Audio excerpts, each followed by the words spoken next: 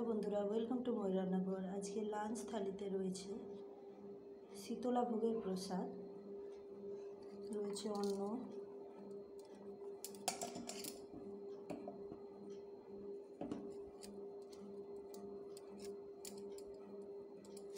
আর রয়েছে আলু কলা ভাজা।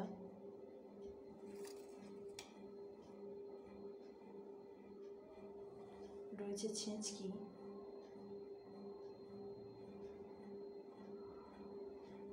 রয়েছে ঘন্ট।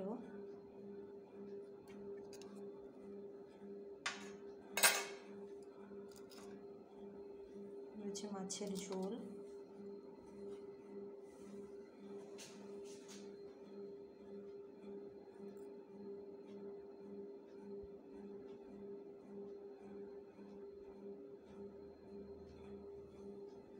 আর রয়েছে আমের চাটনি।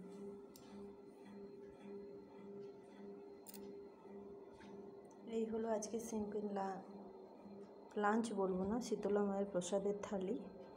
কেমন লাগল ভিডিওটা অবশ্যই কমেন্ট করে জানাবেন। ধন্যবাদ ভিডিওটি দেখার জন্য।